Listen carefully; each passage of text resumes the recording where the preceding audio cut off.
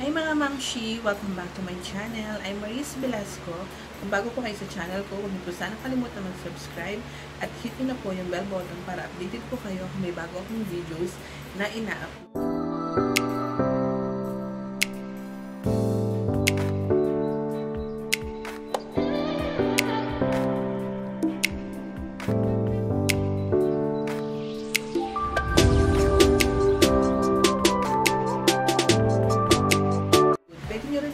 I-follow sa aking Facebook at sa aking Instagram at Maris Velasco. Yung video ko na gagawin ko ngayon is What's in my baby's hospital bag. So, bukas po, ngayon po kasi is Saturday, bukas Sunday is 30 weeks pregnant na po ako. So, kailangan ko nang gawin tong videos, ang video na to. Pero itong gagawin ko is yung for my baby lang kasi hindi pa medyo okay yung gamit ko. Hindi pa siya kompleto. So, ito muna yung gagawin ko yun sa What's in my baby's hospital bag kasi may nag-request nito. Nagawin ko daw tong video na to. So, ito na po yung request mo. At kasi okay na din yung gamit ng baby ko. Okay na siya. Hindi, kompleto na siya. Kaya, ito na yung dadalhin ko sa hospital.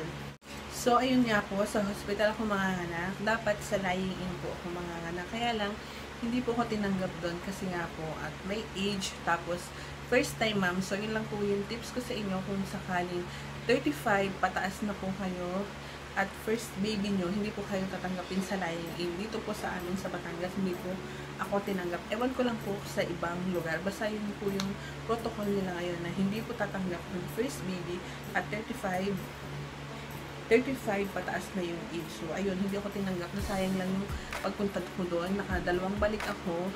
Hindi naman nila ako tinanggap kasi nga 35, hindi agad nila nalaman yung edad ko. So, ipapakita ko na sa inyo yung hospital bag ni baby. So, ito siya. Ito, napakita ko na siya dun sa haul ko, yung um, newborn baby haul. So, ito is nabili ko sa sa Shopee ng 174 pesos. So, mukha naman siyang matibay. At sana matibay talaga siya kasi ito na yung gagamitin ko pag alabas kami ni baby. So, umpisahan muna natin dito sa pinaka-packet niya. So, ayan. Ang um, nakalagay dito is ito. So, may lalagyan siya ng bottle.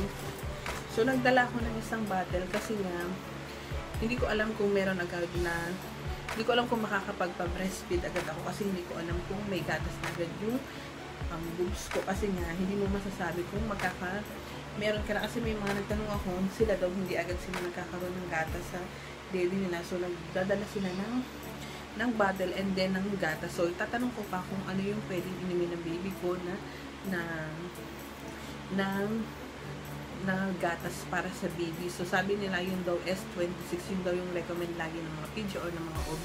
So, itatanong ko pa sa OB ko kung ano yung dadalhin kong gatas kung sakali na ano yung bibilhin ko kung sakali na hindi pa ako magkaroon ng gatas.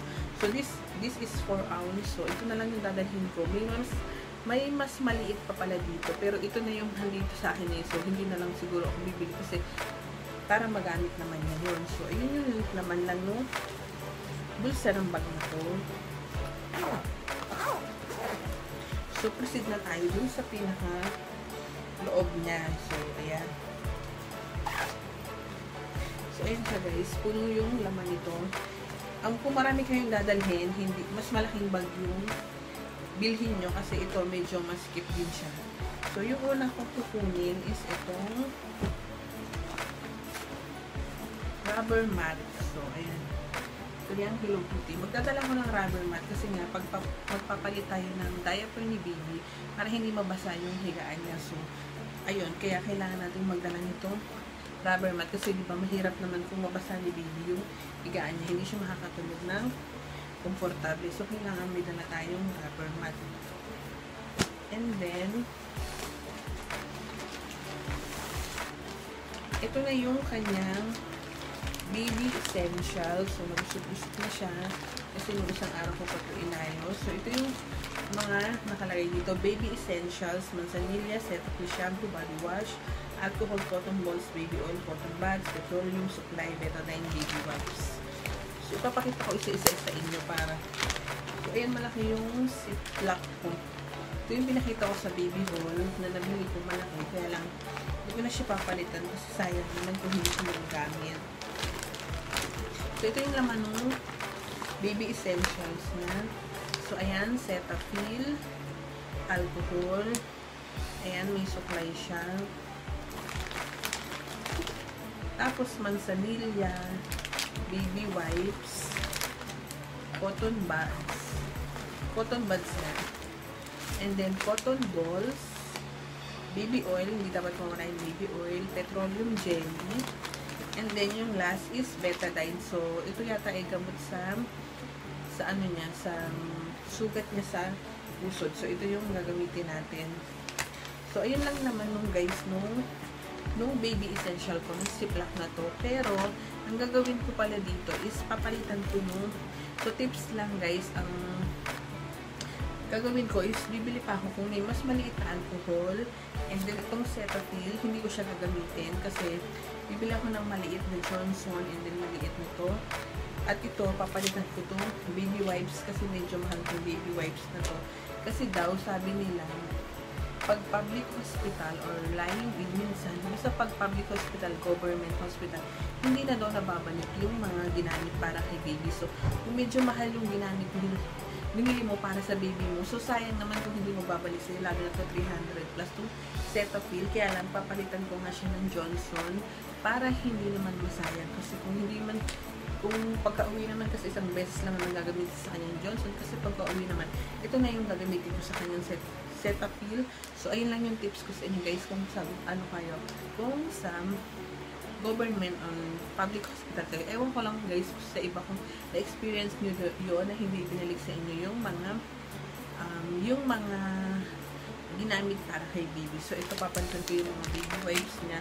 And then, siguro may tatanggalin ako. Hindi ko na rin ito dadalhin yung betadine kung sakali lang nahanapin. Um, dadalhin ko siya pero hindi ko siya sasama sa baby essentials na ibibigay ko sa nurse na kukuha na kukuha para gamitin to kay baby. So, ayun lang guys. Tapos na tayo sa baby essentials. And then, tanggalin ko muna. So, ito yung first day na outfit ni baby. So, ayun siya. Meron siyang diet. So, papakita ko na lang sa inyo yung Meron ditong diaper, one pair mittens, booties, pajama, long sleeves, swaddle, sleeping towel, at saka bonnet. So, ito yung mga laman niya. So, ayan siya. Naplansya ko na guys. So, ayan. Meron siyang swaddle. Para paglabas ni baby, nakaswaddle siya kasi feeling niya nasa loob, para feeling niya nasa loob pa siya ng tummy ni mami niya. So, ayan. Swaddle. And then, itong receiving towel. So, para pag pinaliguan siya, pag lumabas siya, pinapaliguan niya tayo baby.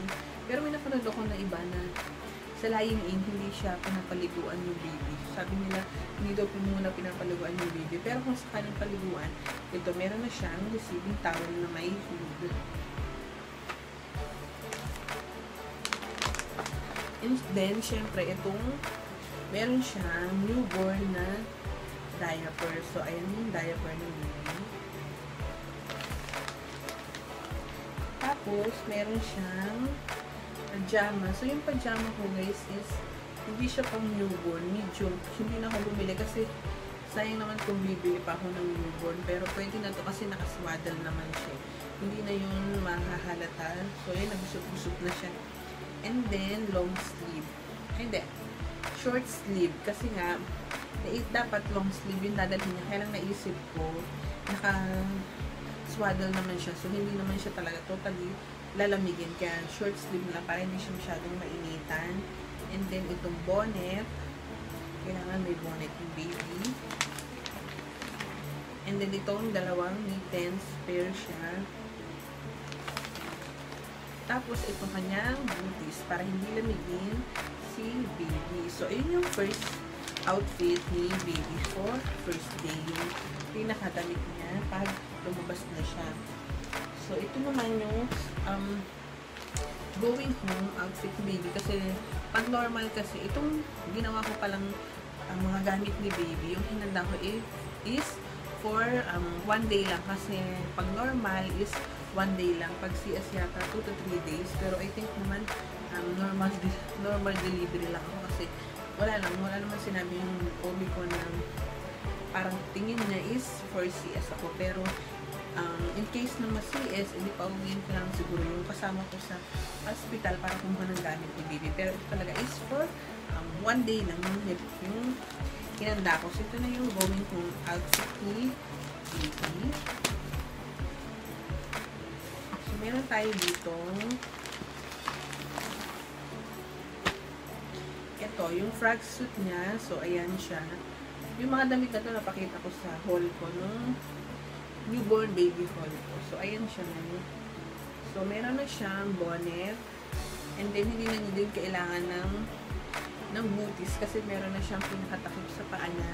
Yung mittens na lang kasi ito is hindi siya long sleeve lang siya pero yung sa kamay niya wala. So, ito yung susuot niya. Tapos, meron siyang meron siyang syempre kailangan niya ng diaper. Yan, meron siyang diaper. Tapos, meron nga siyang mittens kasi itong front suit niya is walang sa kamay. So, kailangan natin magdala ng mittens para hindi masugatan yung mukha niya kasi mahaba pa yung kuko niya.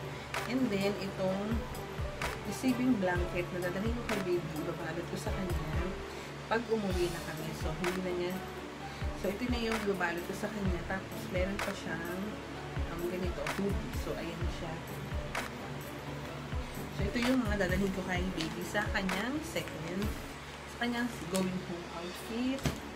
And then, syempre, kailangan natin ng um, extra outfit para kay baby. Kasi hindi naman, mahirap naman yung, ano, masyadong, kung, hindi, mahirap yung kulang-kulang yung dala. Mas maigi na yung, mas mabuti na yung sobra kesa sa kulang. Kasi, medyo malayo din naman yung pupuntahan namin hospital. Hindi agad kami makaka-uwi para kumuha. So, ayan, magdadala na ako ng extra clothes. So, sinasabi nila bakit daw kailangan pang magdala ng sobra-sobra. Pero ako kasi kapag umaalis ako, ayaw ko nung na kulang yung dala kong gamit. Mas okay na yung sobra kasa, kesa kulang. Kasi mas okay yun. So, in case of emergency, diba? So, ayan yung extra clothes ni baby.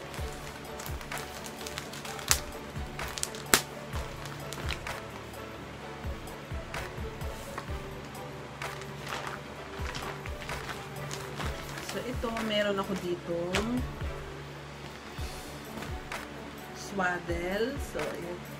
Swaddle. Siguro ito ipanlalatag ko na lang sa hihigaan ni baby para malinis talaga. Make sure, um, para ma-secure ko na malinis talaga yung hihigaan ni baby. So, ayan, may dala akong swaddle.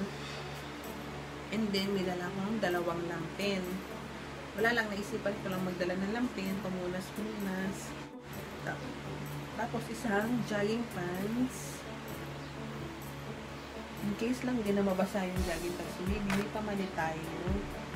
Tapos, isang sando. Baka kasi mainit naman.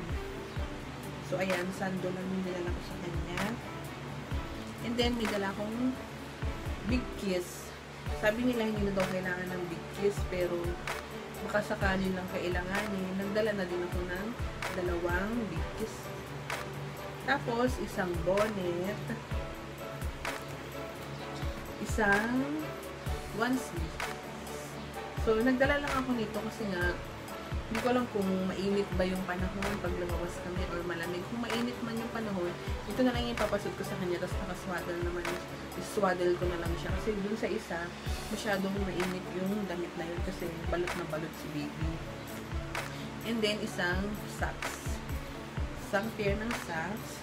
Tapos, nagdala din ako ng extra na tatlong diaper.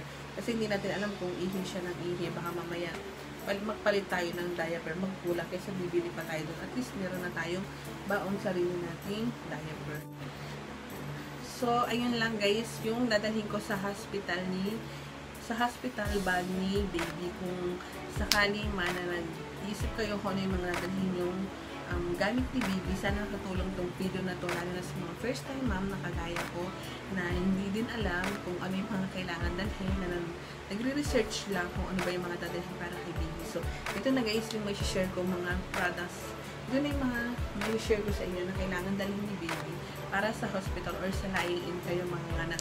Hindi naman kailangan din masyadong maraming dala, pero nasa sa inyo pa rin naman yun kung gusto nyo na mas kumpleto pa yung dalhin nyo para kay baby kasi mas mahirap naman na magdala ng kulang-kulang kaysa uuwi pa or bibili pa sa labas kasi mas mahal kung sa hospital or sa labas ka pa bibili. At least, kung may dala ka ng sobra, hindi ka na bibili kasi nga, meron ng ganas baby. So, ayun lang guys, sana nakatulong tong video na to. At kung sana kalimutan mag-subscribe sa aking YouTube channel, magkita-kita ko po tayo mga mamshi. Bye!